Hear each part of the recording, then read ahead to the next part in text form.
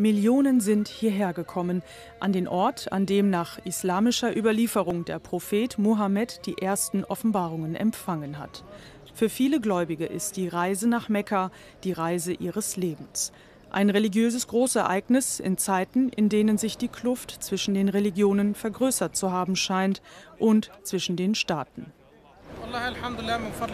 Wir sind von Gott gesegnet, dass wir an diesem Ort sind und wir beten zu Allah, damit die Situation sich für die islamischen Nationen verbessert. Und wir beten für die islamischen Länder, damit sie ihre Feinde besiegen können.